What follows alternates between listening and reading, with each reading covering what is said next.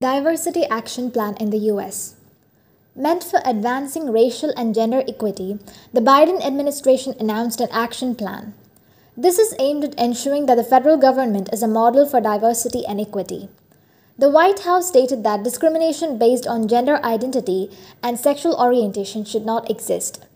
Various departments have decided to take steps in this direction.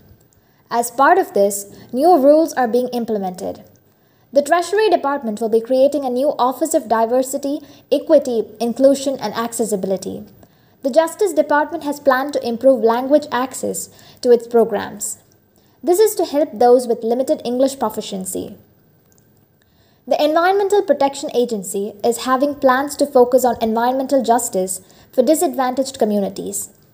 The Interior Department has decided to provide technical assistance to Native American tribes for applying for grants.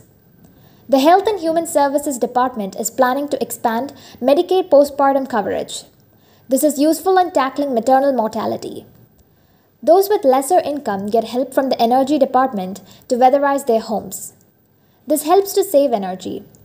Joe Biden had signed an executive order soon after he assumed power for advancing racial equity. Chirag Bains, Deputy Assistant to the President for Racial Justice and Equity, claimed that the order was the first of its kind by a president. The mission was set for the entire federal government. Including major cabinet departments, 90 federal agencies released equity action plans now. Bain said that the strategies will advance equity and justice so that everybody can thrive in America.